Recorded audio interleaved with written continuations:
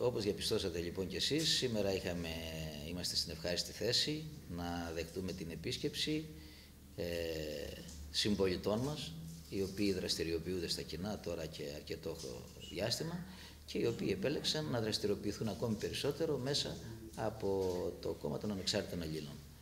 Ε, εγώ προσωπικά θεωρώ ότι η πολυφωνία είναι η καταξίωση της δημοκρατίας. Ε, με βάση λοιπόν αυτή τη λογική θεωρώ ότι και η κομματική εκπροσώπηση κάθε ένας κόμματος και στις μικρές κοινωνίες. Θα πρέπει να γίνεται με επίσημο τρόπο, να καταγράφονται οι απόψεις, να γίνεται ε, κουβέντα σε όλα τα θέματα τα οποία απασχολούν τις τοπικές κοινωνίες και βέβαια να υπάρχει πάντοτε η λογική της ρεαλιστικής και προσέγγισης των θεμάτων ε, ούτως ώστε στο μέτρο του δυνατού να προσπαθούμε να έχουμε αυτή την ποθητή ομοφωνία στην διεκδίκηση ε, ετοιμάτων της τοπικής κοινωνίας και την επίλυση προβλημάτων που δυστυχώς συνεχώς αυξάνονται σε όλες τις τοπικές κοινωνίες. Με βάση λοιπόν αυτή τη λογική εγώ καλωσορίζω ε, αυτή την προσπάθεια του κόμματος των Ανεξάρτητων Ελλήνων να εκπροσωπηθεί και τοπικά ε, με ε, συμπολίτες μας οι οποίοι δραστηριοποιούνται στα κοινά και αναμένω μία ε, καλοπροαίρετη συνεργασία με τη Δημοτική Αρχή στη βάση της αντιμετώπισης των κοινών προβλημάτων μια που όλοι συμβιώνουμε σε αυτή την περιοχή. Σε αυτό που λέμε δημοσιτίας.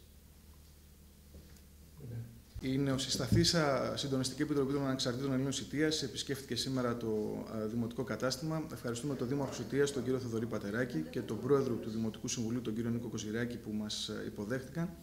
Συζητήσαμε μαζί τους για τα θέματα τα οποία απασχολούν την τοπική κοινωνία, για όλα τα τρέχοντα προβλήματα, τα οποία είναι πάρα πολλά και είναι διωγγωμένα όχι μόνο λόγω της ιδιαιτερότητας της περιοχής, αλλά και εξαιτίας της κυβερνητικής πολιτικής, η οποία έχει βυθίσει τη φτωχοποίηση μεγάλο κομμάτι του ελληνικού λαού. Μιλήσαμε για το νοσοκομείο, μιλήσαμε για τις ΒΑΠΕ. Ε, στόχος μας και πρόθεσή μας είναι να συνεχίσουμε να είμαστε σε επαφή με τη Δημοτική Αρχή.